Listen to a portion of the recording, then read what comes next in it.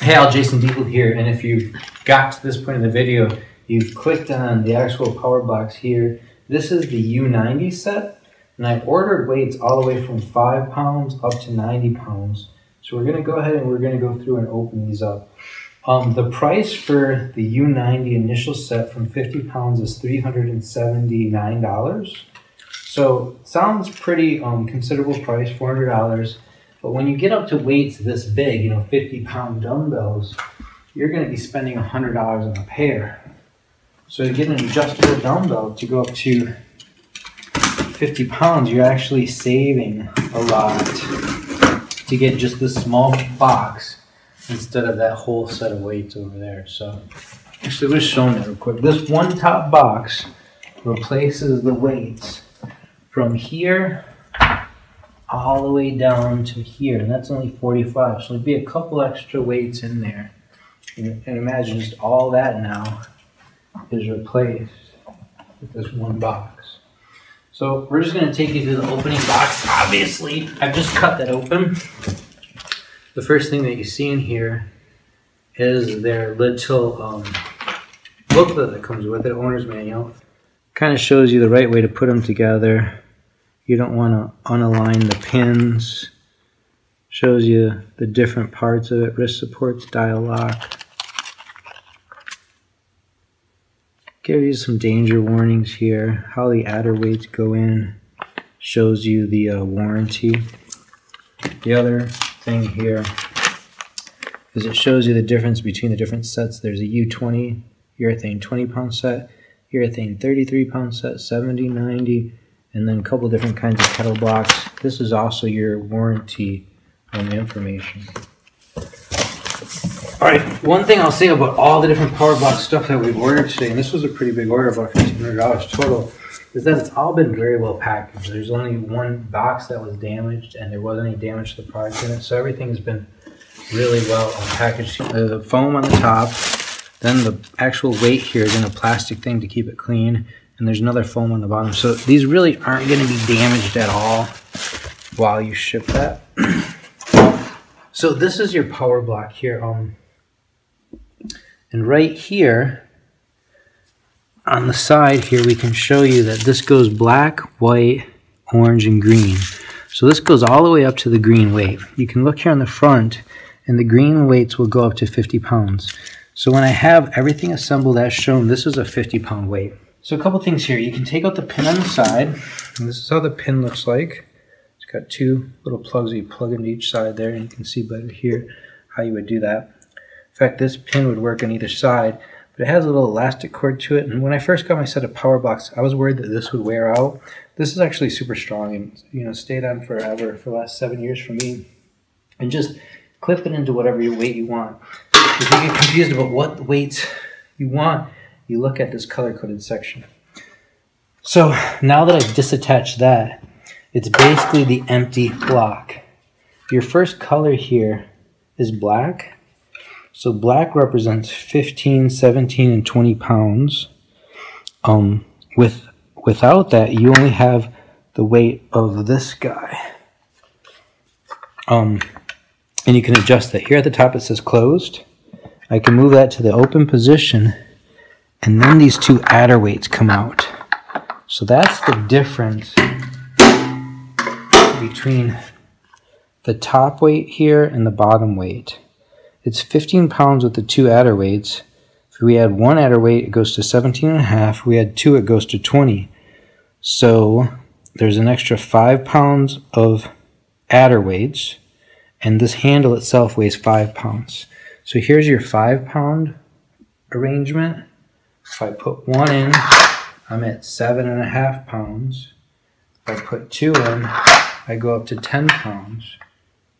And then as soon as I go with the black bar and two adder weights, I'm up to 20 pounds.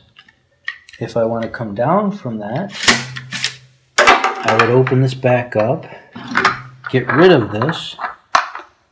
The handle itself is five pounds first adder weight is 10 pounds. So when I clip this together, now I'm with a 15 pound configuration, 10 for the weight and 5 for the handle. Uh, so I think that pretty much summarizes the operation of how the individual power block works. One thing I want to show you here is how this size compares. This is another thing I like about adjustable, this particular adjustable weight in general. This is a 45 pound dumbbell and this weight itself will go up to 50 pounds.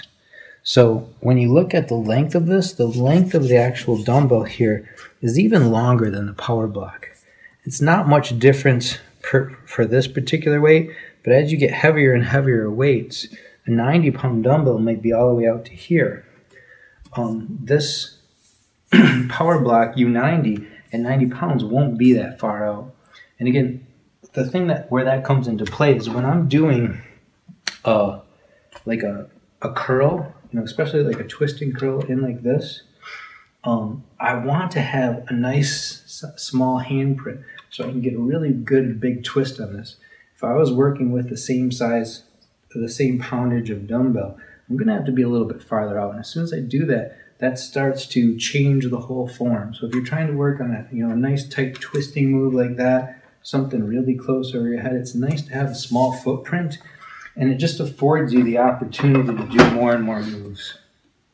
Um, I pretty much just want to do an open box here and show you the U90 as it ranges from 5 pounds with the empty chassis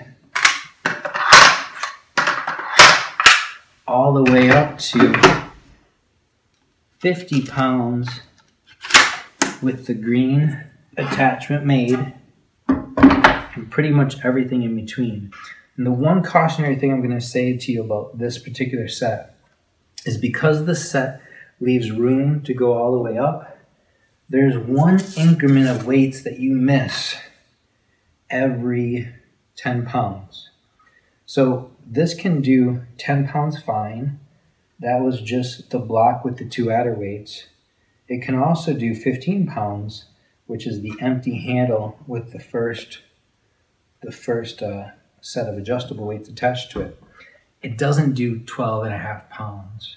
Now, it does a lot of the half pounds. It does 17 and a half, 27 and a half, 37 and a half, 47 and a half. It does half of those two and a half pound increments, but every 10 pounds it misses one half pound increment. So the increments that you miss with this set are 12 and a half, 22 and a half, 32 and a half, 42 and a half, 52 and a half, 62 and a half, 72 and a half, and 82 and a half when you're at uh, 12 and a half pounds, that's an increment that you might want to use with certain low rep weights.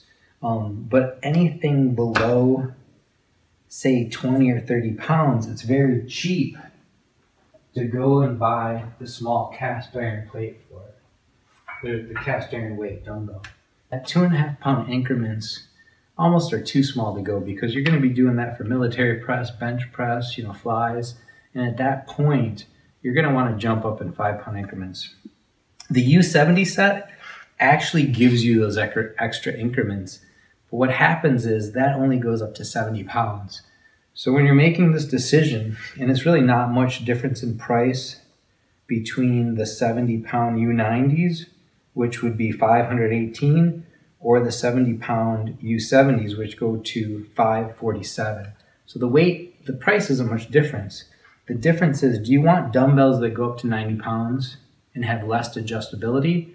Or do you want dumbbells that have more adjustability but only go up to 70 pounds? So, really, when you make that decision, think about what's the top end of weight that I want to be doing? Is there anything that I'm going to do over 70 pounds? And for me, the answer is yes. Number one, on lawnmowers, right? When you're doing lawnmowers, that's a move down like this. I can definitely go over 70 pounds of that move.